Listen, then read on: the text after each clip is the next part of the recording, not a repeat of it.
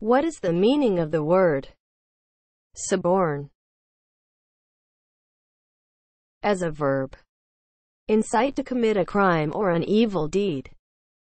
Procure false testimony or perjury. Induce to commit perjury or give false testimony. Examples of use.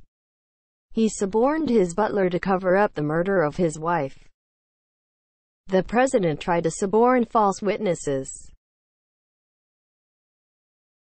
Suborn is spelled S-U-B-O-R-N.